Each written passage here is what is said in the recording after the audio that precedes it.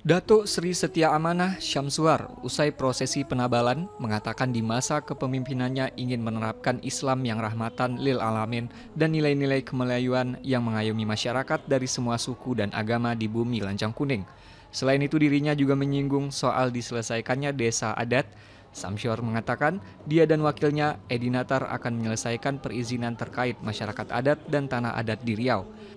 Persoalan terkait masyarakat adat dan tanah adat yang ada saat ini akan masuk pertimbangan-pertimbangan mereka sebagai kepala daerah dalam mencanangkan pembangunan Riau hijau yang mendukung pembangunan berwawasan lingkungan dan masuk ke dalam RPJMD lima tahun yang akan datang.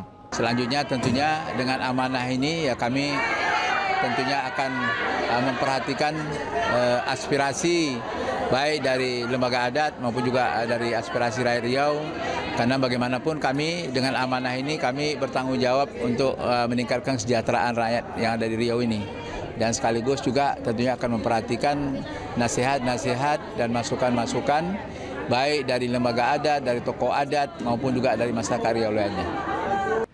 Turut hadir dalam acara ini Datuk-Datuk Lam Riau, Ketua MUI Riau Nazir Karim, mantan Gubernur Riau Saleh Yasid, Wan Abu Bakar, para pejabat Pemprov Riau dan Kota Pekanbaru, serta tokoh adat dan tokoh masyarakat Riau.